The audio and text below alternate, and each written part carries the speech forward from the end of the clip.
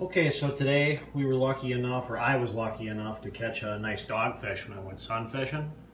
I'm gonna make most of you cringe. Um, here you got uncooked dogfish meat.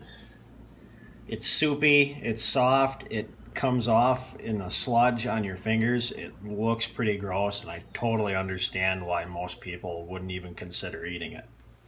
However, you put it in some egg and milk, you roll it in whatever breading you have. I used a little bit of Cajun shore lunch because that's what I had on me. And you fry it, and I tell you what, it firms up quite a bit. Get some on the spatula because I was just handling the raw stuff. Firms up quite a bit, turns nice and white and flaky. It's awesome. Um, it's still fairly soft.